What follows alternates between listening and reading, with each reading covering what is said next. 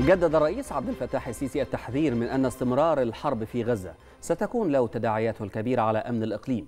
وشدد على أن السعي لاستعادة الاستقرار وتحقيق العدل يرتبط باتخاذ وإيجاد حل شامل للقضية الفلسطينية يفضي إلى قيام الدولة الفلسطينية المستقلة. جاء ذلك خلال تلقي رئيس السيسي اتصالا هاتفيا من رئيسة وزراء إيطاليا جورجيو جورجيا ميلوني وأوضح المتحدث الرسمي باسم رئاسة الجمهورية أن الاتصال شهد استعراض سبل تعزيز التعاون المشترك بما يتفق مع العلاقات التاريخية التي تربط الدولتين والشعبين. بين الصديقين. وأضاف متحدث الرئاسة بأن الاتصال تناول أيضا الأوضاع الإقليمية وبالأخص في قطاع غزة واستعرض الرئيس السيسي الجهود المصرية للتوصل إلى وقف لإطلاق النار وإنفاذ المساعدات الإنسانية مشددا على ضرورة اطلاع المجتمع الدولي بمسؤولياته في هذا الصدد بما يتسق مع قرارات الشرعية الدولية ذات الصلة.